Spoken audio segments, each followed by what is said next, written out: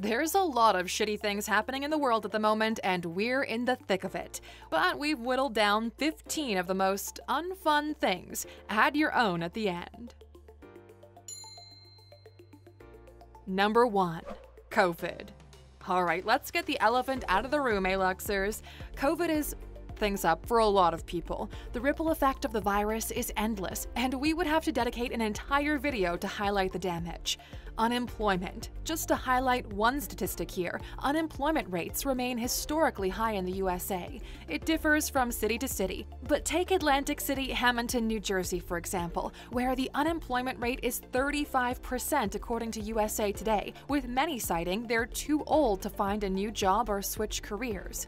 There's recession, skyrocketing prices on goods and services, mental health problems, amplified poverty, death of loved ones, tourism is non existent, overcrowded healthcare facilities with no relief for staff, and a mistrust between friends and with the government. There's plenty more, but you get the gist of it.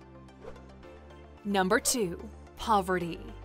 As if extreme poverty wasn't already a problem pre COVID, can you imagine how bad it's still going to get? It's near impossible to gauge the exact repercussions of the virus until it's over, but the World Bank speculates that a further 150 million people will experience extreme poverty in 2021. Since 1990, a billion people have left their extreme poverty behind. So, Aluxers, there's always hope. Education, healthcare, and food are still all needed to ensure people can get out of poverty. And until governments and politicians truly act on behalf of the people, this problem will sadly continue. We delve so much deeper into these kinds of topics on our channel, Aluxers. Just be sure to subscribe when you're done watching. Number 3. Hunger. Poverty and hunger go hand in hand. As we mentioned in our video, Reasons Why Money Won't Solve World Hunger, a lot of people go hungry because of the greed of those in power. Corrupt governments are part of the socioeconomic problem that fuels malnutrition in developing countries. In the words of the late Jacques Diouf, hunger is not an issue of charity, but an issue of justice. 2 billion people go hungry every day. That's a fact. It's worse in Africa, where more than half the population go hungry every day. Another fact. 45% of children that die before they turn 5 years old is because they don't get proper nutrition. Fact. There are communities and individuals who are doing everything in their power to overcome this tragedy. They are looking at innovative ways to feed people, including climate resistant crops, methods to combat drought, and sharing these ideas with community members. Number 4. Health. Forbes.com reports that two people have died from COVID every minute so far in 2021. How does that relate to other health issues around the world? Currently, one child dies every 20 seconds from a preventable disease due to a lack of vaccines. 7,000 people lose their fight against HIV, TB, and malaria daily.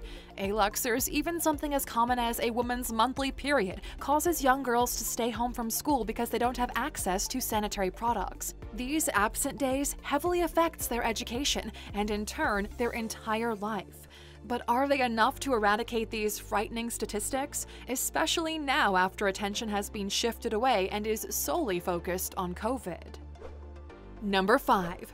Education. As we said earlier, something as common as a monthly period can negatively affect schoolgirls in impoverished communities from attending school because they don't have access to sanitary products. You can see how poverty, health, and education are all linked together. DoSomething.org shared some awful facts about education. 11.07 million children in sub Saharan Africa leave before completing primary school, and it rises to 13.54 million in South and West Asia. Children from rural communities are twice as likely to not be in school than urban children.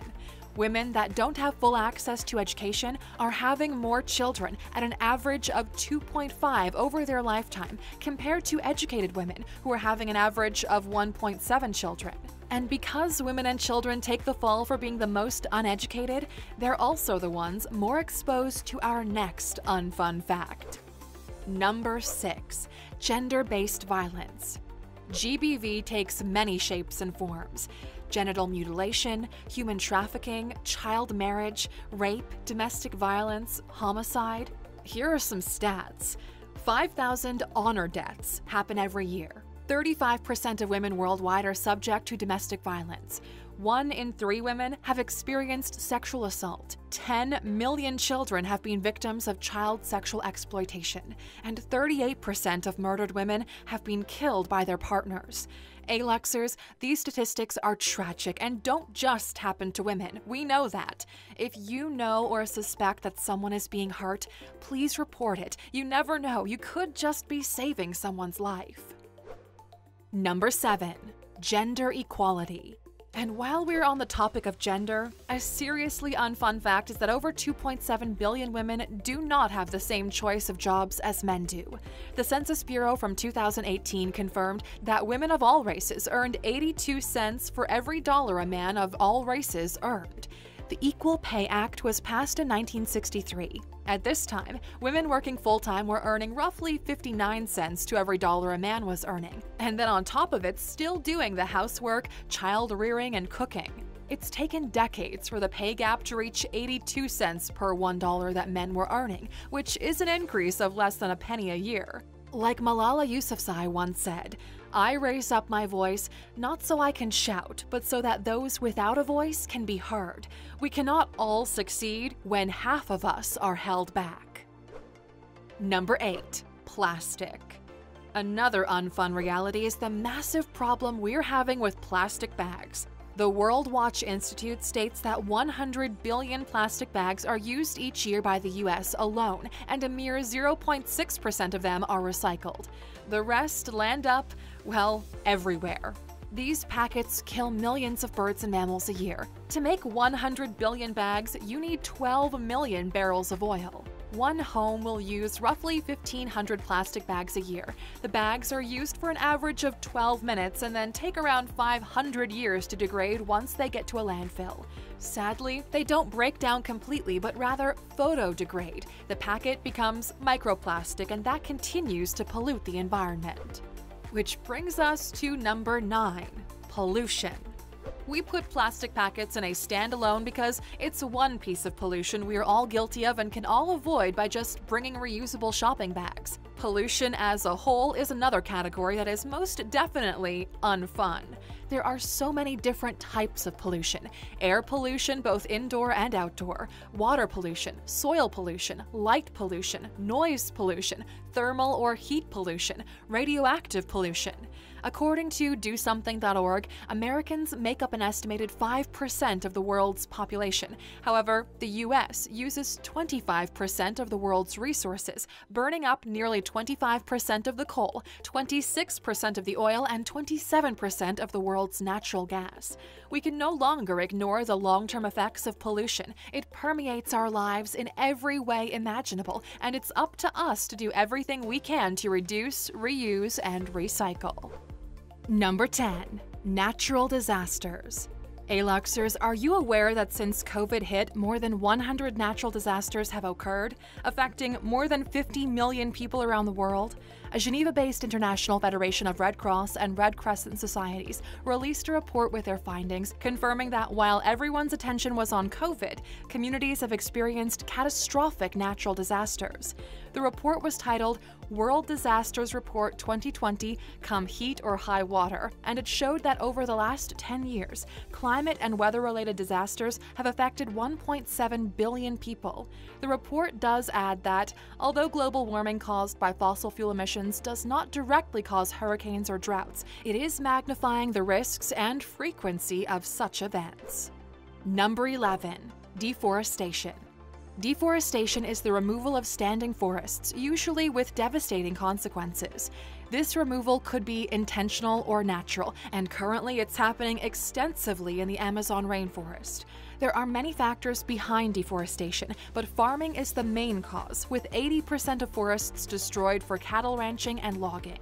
Deforestation means a loss of natural habitat for animals and plants. The trees also provide shade for many animals and plants and regulates the temperature. When those trees are gone, there are major changes to the temperature which kills wildlife.